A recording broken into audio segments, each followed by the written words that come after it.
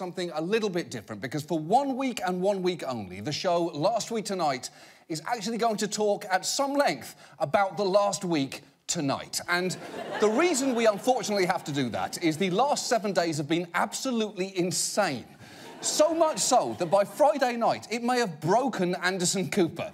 Because, I'll tell you why, because Jeffrey Lord, CNN contributor and die-hard Trump supporter, was in the middle of defending yet another indefensible statement from Trump when Cooper finally snapped.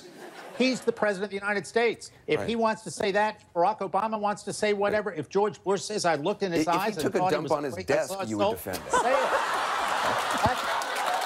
Yes, yes.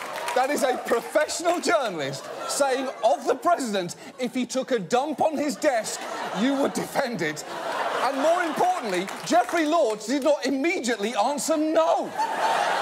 And look, on a different night, I could probably devote time to why CNN would put themselves in the position of having a professional dump defender constantly on their network, but there is not going to be time because tonight we have to track